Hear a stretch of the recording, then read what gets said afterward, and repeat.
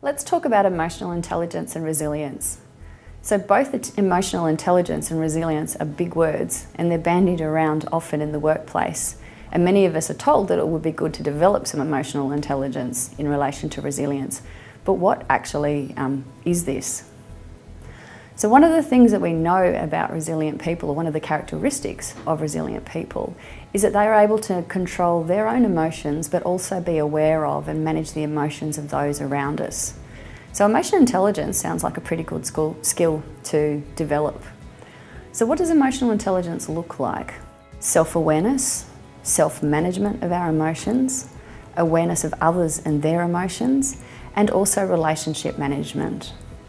So, what emotional intelligence does for us in terms of resilience is help us manage those emotions so that we can act rather than react and choose how we think and feel rather than having our emotions choose for us.